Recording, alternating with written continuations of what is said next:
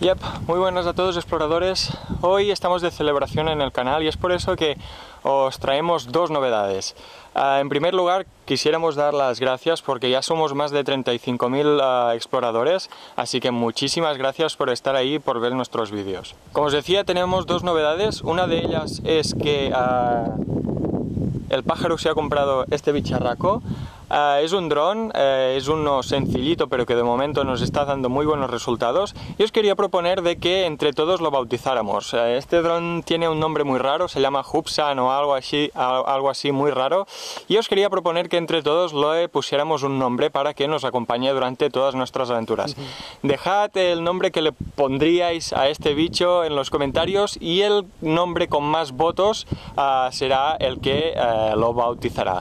Dejad un like en, en los nombres que os gusten más y en los próximos capítulos bautizaremos al dron de uh, Mumis Place. La segunda novedad es que vamos a hacer una otra pequeña serie.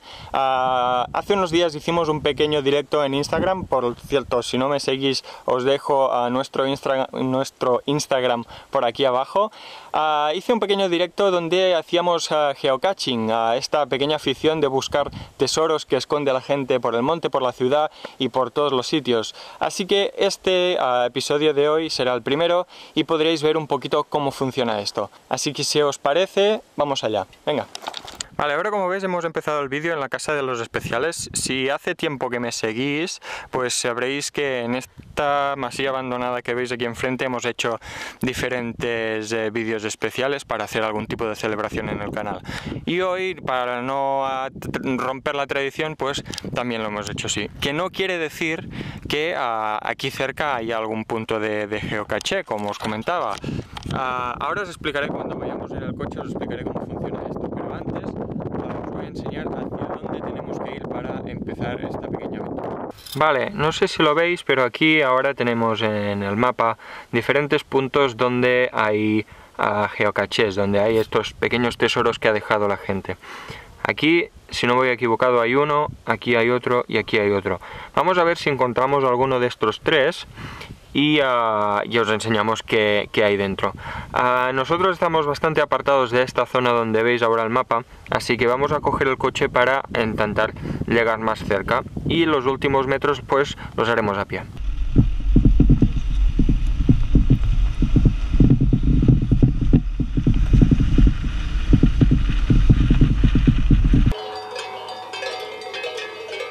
Bueno, para quien no lo conozca, el, geocaché es un juego que tuvo su boom ahora no hace mucho tiempo.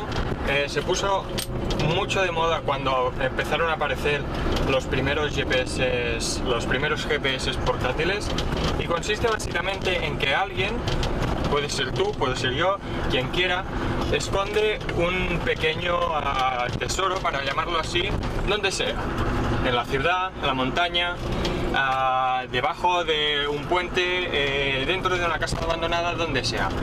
Y luego vas a una página web que es uh, geocaching.com y uh, dejas las coordenadas del de lugar donde lo has escondido.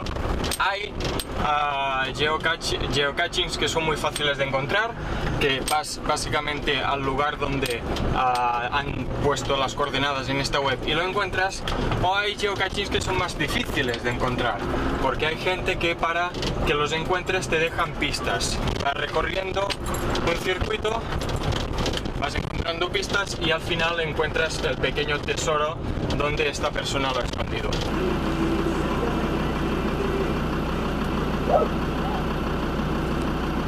De camino al geocaching hemos pasado por un lugar donde hace unos tres años había una cantera abandonada. Era una cantera en la que se extraía, como podéis ver, piedra y la que tuvo que cesar su actividad porque a las excavadoras encontraron agua con lo cual como veis se inundó todo y tuvieron que parar la extracción porque no podían, porque había muchísima agua. Os voy a dejar el link por aquí arriba, a echarle un vistazo porque era un lugar abandonado uh, muy guapo y aparte me veréis a mí con unos cuatro años menos. Uh, ahora como veis todo esto que está inundado lo usa la gente a, a modo de playa pero por desgracia, como veis, la gente es una guarra y no ah, tiene ningún respeto por la naturaleza y está todo hecho un asco. Si eres de los que va a la montaña y deja estas mierdas ah, tiradas, ah, por favor, quédate en casa. hay, hay el mismo trabajo en llevarlo al campo y volverlo a casa. No os cuesta nada volverlo a dejar en la mochila y luego tirarlo en un container.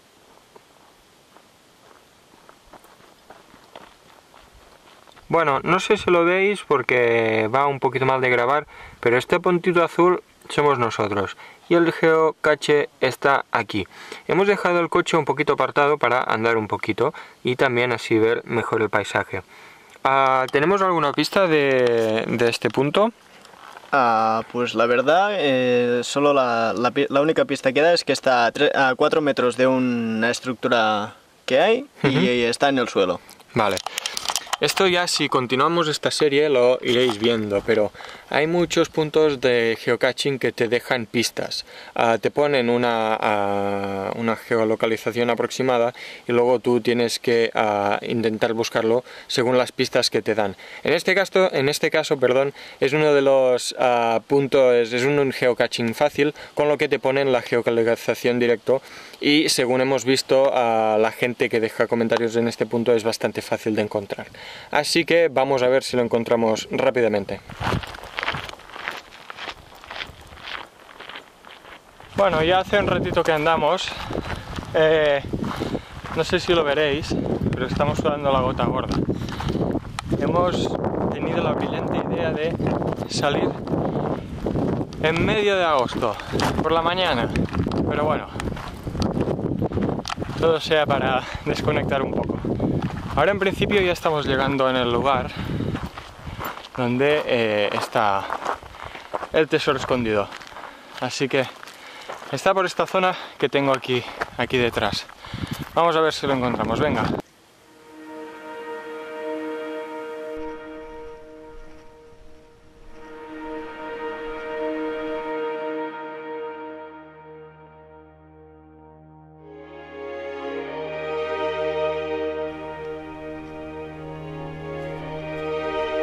Bueno chicos, ya lo hemos encontrado.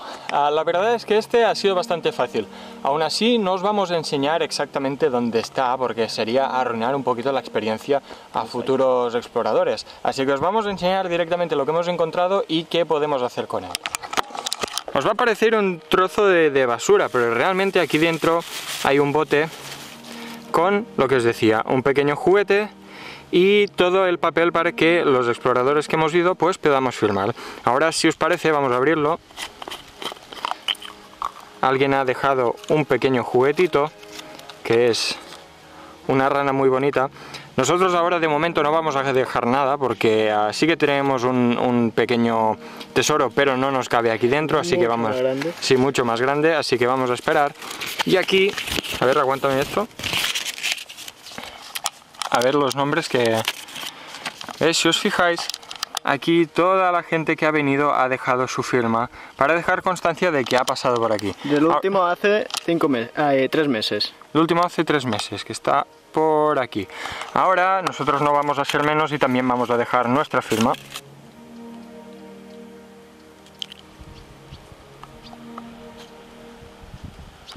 Vamos a por otro.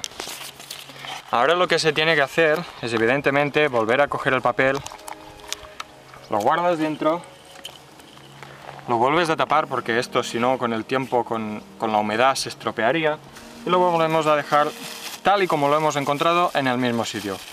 Bueno, ya tenemos el primero. Ha sido fácil, ha sido rápido, pero bueno, la experiencia ha sido buena. Ahora hemos visto que por aquí, por la zona, hay otro y como nos sobra un poquito de tiempo vamos a ver si lo. Este, según hemos visto, también te pone la geolocalización exacta, pero es un poquito más grande que el que hemos encontrado, así que hay un poquito de posibilidad de que este sí que haya unos cuantos tesoros y que nosotros podamos dejar el nuestro. Así que vamos a ver si lo encontramos, venga. Nosotros ahora venimos del puntito verde este, es el, primero, el primer geocaching que hemos encontrado.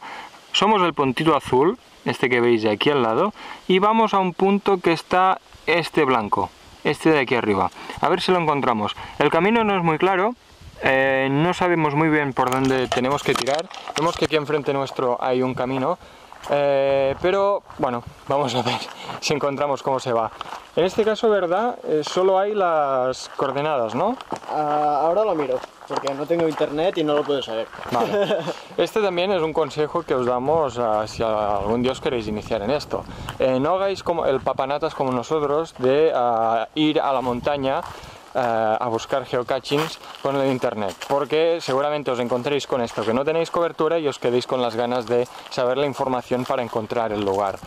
Lo que os aconsejamos nosotros es que si vais a una zona uh, lo busquéis en casa uh, marquéis los puntos donde queréis ir y os lo imprimáis. Lo tengáis en papel para Mm, que no necesitéis internet para buscar los sitios, porque si no os pasará como nosotros que eh, sabréis el punto por GPS, pero no encontraréis la información o las pistas que os dan para encontrarlo. Bueno, ya nos hemos metido de cabeza en el camino, está lleno de zarzas. Vamos a ver si encontramos este punto.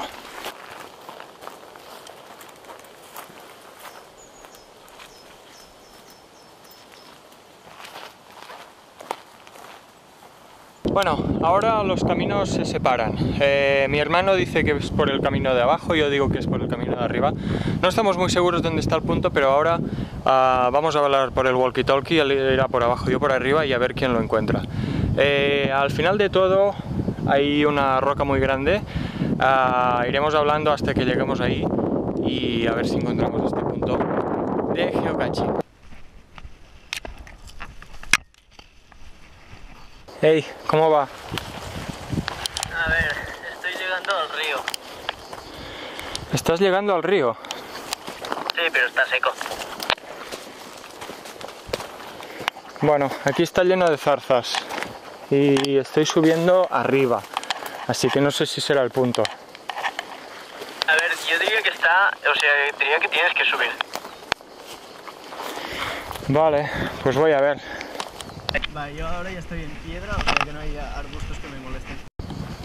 A ver, ahora aquí acabo de encontrar una, una cabaña de pastor. ¿Puede ser que esté aquí dentro? No creo. Parece que está en la balma.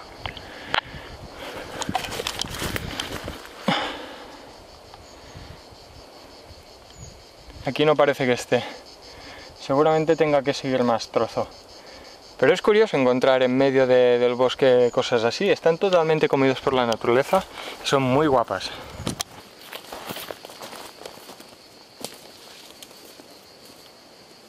Vale, no lo veréis, pero hemos llegado donde se supone que está. Mi hermano está por aquí debajo y yo tengo que encontrar algún lugar para para bajar, supongo. ¡Ah!